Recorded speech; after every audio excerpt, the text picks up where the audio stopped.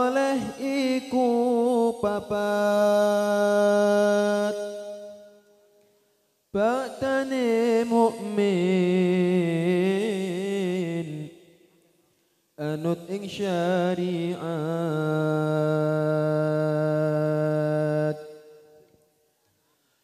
Kang dihendi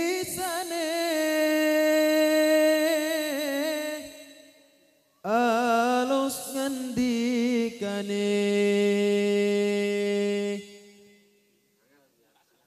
kapindo mulya ing wong